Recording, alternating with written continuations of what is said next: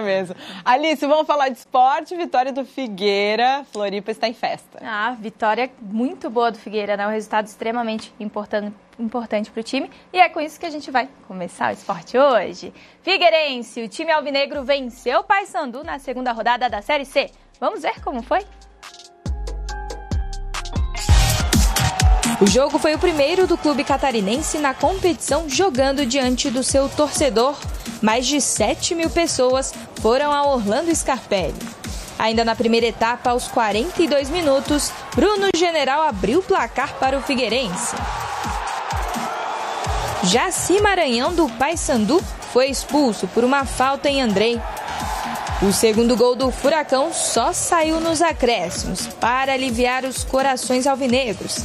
Guilherme Pato fez uma bela finalização de fora da área para fechar o jogo. Figueirense 2, Paysandu 0. E para comentar esse jogo, Fábio Machado. Chega mais. Bom dia, Fábio. Muito bom dia, Alice. Muito bom dia, galera linda do programa do esporte do Jornal SC no ar. Olha, a vitória do Figueirense ontem por 2 a 0 diante do Paysandu no estádio Orlando Scarpelli foi de suma importância.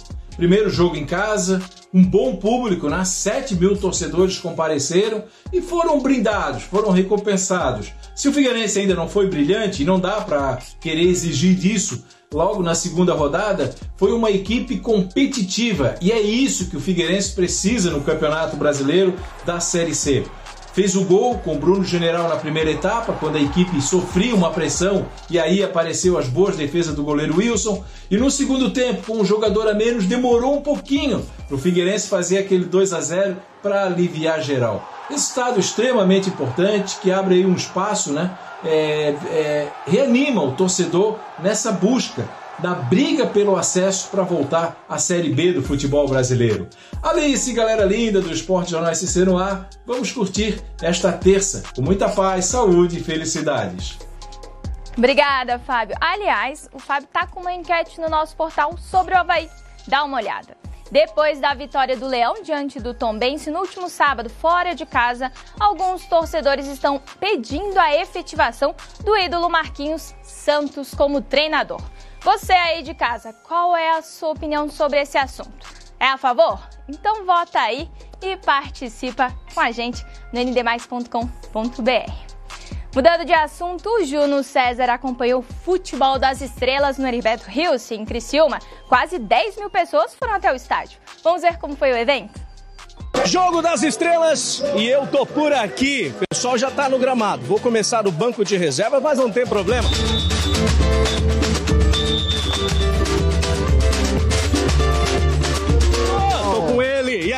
Como é que tá sendo Criciúma aí pra você? Cara, Criciúma é um lugar muito acolhedor, povo hospitaleiro, galera bem humorada, galera humilde. Tô muito feliz de estar aqui, poder trazer entretenimento para vocês e suas famílias. Desejo o melhor para todo mundo. Vem comigo que no caminho eu te explico. E agora, a dentada. Ai, que gato!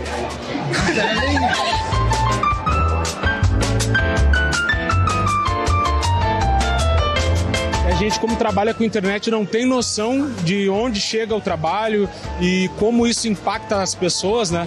E, cara, desde que eu cheguei aqui na cidade, todo mundo me recebendo super bem, gravando vídeo, tirando foto. A gente sente um gostinho, né? Mesmo que pequenininho, do, do que os jogadores têm de entrar no campo, estádio lotado, nesse clima, esse clima de festa, a gente sabe como é que é o majestoso.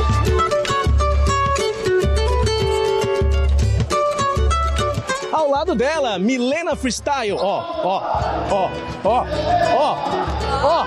Ó, agora faz um pouquinho.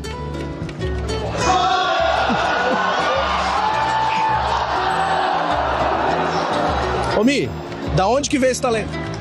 Comecei em 2020, quando eu já jogava futebol. Comecei a procurar algumas aulas no YouTube, videoaulas para aprender futebol freestyle e comecei a me encantar pelo esporte. Dá para aprender então? Dá para evoluir essa técnica? Com certeza, muito treino, disciplina e dedicação.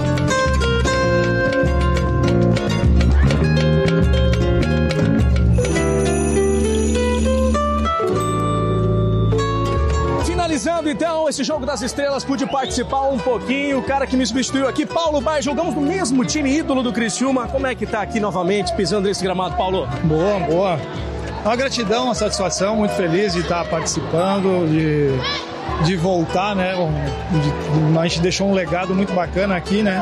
De conquistas e se erguer também Criciúma como técnico, né? Então, acho que Criciúma. Então, tenho uma gratidão muito, muito, muito feliz de estar voltando e fazendo gol, melhor ainda, né?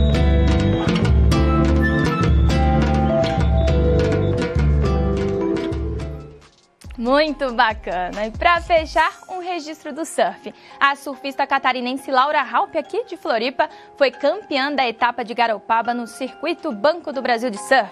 Laura venceu a primeira final na Praia da Ferrugem, em Garopaba, derrotando, derrotando a surfista de Arraial do Cabo, Carol Ribeiro. Essa etapa foi a segunda das cinco de 2023. As próximas estão marcadas para o mês de agosto e os locais ainda não foram definidos, mas a gente segue acompanhando. Martim e Lucas, vou devolvendo para vocês que é um registro bacana. Parabéns para a Laura, né? Os campeões dessa, desse circuito. Super parabéns. É, inspirando muitas meninas no surf catarinense. Sim. Amanhã tem mais esporte que no SC no ar. Te esperamos, Alice Queiroz. Tchau. Isso aí.